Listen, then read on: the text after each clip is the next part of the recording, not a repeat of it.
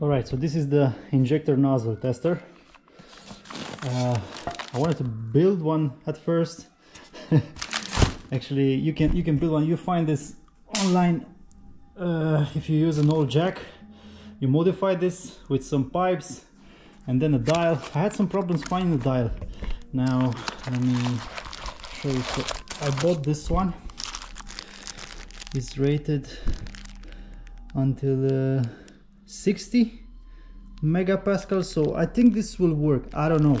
Uh, thing is after I got the dial and I had the jack I need just need to get some pipes uh, I found this nozzle injector nozzle tester and I thought it was a good deal so I bought this one instead of uh, you know going through the process of building one. But anyway now let's see if this one that's already built and it looks much better. The dial is much bigger than what I have.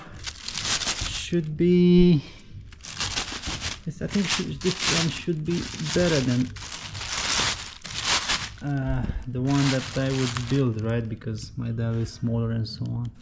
And I don't know if the materials will resist to to diesel so yeah this is the one. Let me this is the unboxing.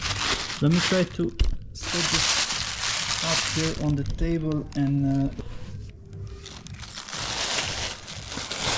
this I'll try to do a quick test to see if it's any good. So let me get a clamp. So basically this is uh, a jack. It will build pressure here it will show you how much pressure do you have in here. I will uh, connect this pipe with the injector. So yeah, let me let me set this up. I need to uh, to clamp this somehow or I should drill some holes and then add diesel into the reservoir. And uh, yeah basically the testing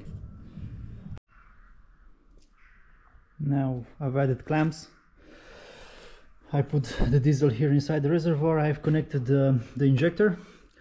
I've bled this uh, you know for air. Uh, and now let's see if this works. So if I'm pressing here the the pressure will, will raise and um, and I get around 20 something right? Around 20 I see it's here. The injector will will open. Okay, so around 20 if you can see here it's uh, it's doing a good job. Without bleeding. Yeah. So this was it uh, for the injector nozzle tester